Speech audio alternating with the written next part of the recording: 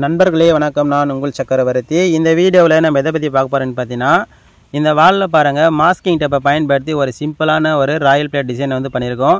இதை பற்றி தான் இந்த வீடியோவில் நான் காட்டலாம் இருக்கிறேன் சொல்லலாம் இருக்கிறேன். வீடியோ பார்க்கறது முன்னாடி நம்ம சேனல் நீங்கள் சப்ஸ்கிரைப் பண்ணலாம் Nachiya painting tutorial channel subscribe பண்ணிட்டுங்க அப்போ தான் இந்த மாதிரியான பயனுள்ள வீடியோக்கள் தொடர்ந்து கஷ்டம் இருக்கும்.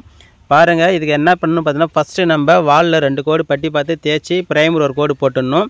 அதுக்கப்புறம் வந்து பார்த்தீங்கன்னா நம்ம லைட் பிங்க் கலர் வந்து பார்த்தீங்கன்னா ஒரு கோட்டிங் வந்து அப்ளை பண்ணிடணும். லைட் பிங்க் கலர் நல்லா கவர் ஆகிடுச்சுன்னா ஒன்றும் பிரச்சனை கிடையாது. அப்படி சரியாக கவர் ஆகலைன்னா நீங்கள் ரெண்டு கோட்டிங் போட்டு ஃபினிஷிங் பண்ணிடணும். அதன் பிறகு நல்லா ட்ரை ஆகிட்ட பிறகு நாலு மணி நேரம் கழிச்சு நீங்கள் என்ன செய்யணும்னு பார்த்தீங்கன்னா ஒரு நாள் விட்டுக்கு நீங்கள் மாஸ்கிங் டேப் வந்து பார்த்தீங்கன்னா உங்களுக்கு எந்த மாதிரி டிசைன் வேணுமோ அந்த மாதிரி மாஸ்கிங் டேப் வந்து ஒட்டிடணும். ஒட்டிட்டு அதன் மேலே வந்து பார்த்தீங்கன்னா நம்ம எந்த கலரை டிசைன் பண்ண போகிறோமோ அந்த கலர் வந்து பார்த்தீங்கன்னா கொஞ்சம் டார்க்காக எடுத்துக்கணும். இப்போ வந்து பார்த்தீங்கன்னா நாங்கள் வந்து லைட் பிங்க்குக்கு டார்க்கு பிங்க் எடுத்துக்கிறோம். இப்போ டார்க்கு பிங்க் வந்து பார்த்தோன்னா அடித்து உடனே வந்து பார்த்தா அந்த ஈரத்துலேயே வந்து பார்த்தோன்னா நம்ம இந்த மாதிரி பேப்பர் ஒட்டி ஒட்டி நம்ம எடுத்தோம்னா இப்போ லாஸ்ட்டு அடித்த இந்த டார்க் பிங்க்கும் ஏற்கனவே அடித்த அந்த லைட் பிங்க்கும் வந்து பார்த்தோன்னா டிஃப்ரெண்ட்டாக உங்களுக்கு ரெண்டு கலருமே மிக்சிங் ஆகி தெரியும்.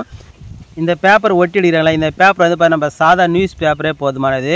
நியூஸ் பேப்பர் நல்லா கசக்கிடணும் நல்லா கசக்கிட்டு ஒட்டி எடுத்தால் தான் வந்து பார்த்தோன்னா நம்மளுக்கு அந்த கோடு கூட லைன் லைனாக வந்து பார்த்தா தெரியும்.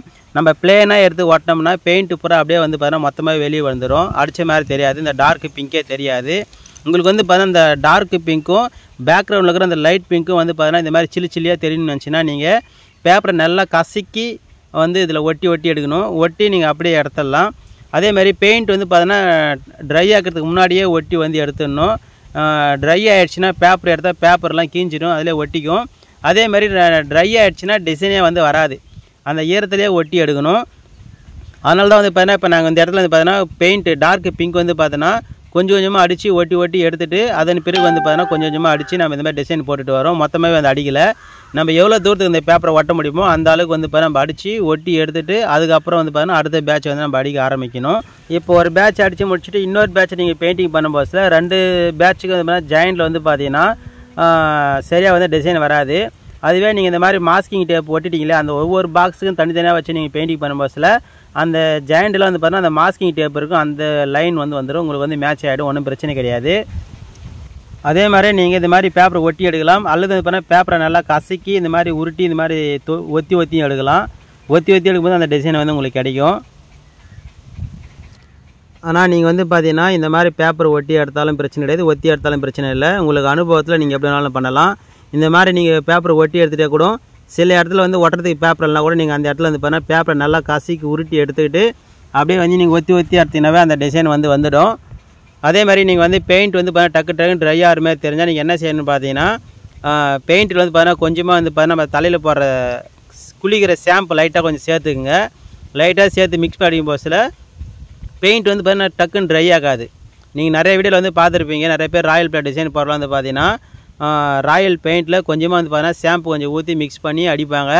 அதுக்கான விளக்கு வந்து பார்த்தீங்கன்னா பெயிண்ட் வந்து பார்த்தீங்கன்னா டக்குன்னு ட்ரை ஆகக்கூடாதுன்றதுக்காக கொஞ்சம் வந்து பார்த்தீங்கன்னா ஷாம்பு வந்து ஆட் பண்ணிக்குவாங்க. நீங்கள் அந்த மாதிரி டக்கு டக்குன்னு ட்ரை ஆகிற மாதிரி இருந்துச்சுன்னா ஷாம்பரை கொஞ்சம் ஆட் பண்ணிக்கோங்க. இந்த மாதிரி பேப்பர் வந்து ஃபுல்லாக ஒட்டிட்டு இந்த மாதிரி கையால் ஒத்தி ஒத்தி பண்ணும்போதில் அந்த பேப்பர் வந்து எந்த அளவுக்கு கசிங்கி போய் செவுத்தில் ஒட்டுதோ அந்த அளவுக்கு நம்மளுக்கு வந்து டிசைன் கிடைக்கும். பேப்பர் அதுவே பிளேனாக நைஸாக இருந்து நீங்கள் ஒட்டினீங்கன்னா மொத்த பெயிண்ட் அப்படியே வந்துடும் அந்த டிசைனே வந்து தெரியாது. பேப்பர் எந்த அளவுக்கு கசிங்கி போயிருக்கோ அந்த அளவுக்கு வந்து பார்த்தீங்கன்னா டிசைன் கிடைக்கும்.